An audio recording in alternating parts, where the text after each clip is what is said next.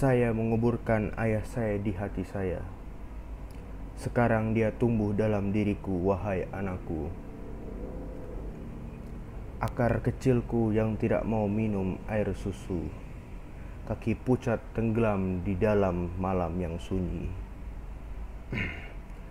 Waktu kecil pun berganti ke musim semi dan tenggelam dimakan waktu dalam api, anggur, dan orang tua bagai masa depan.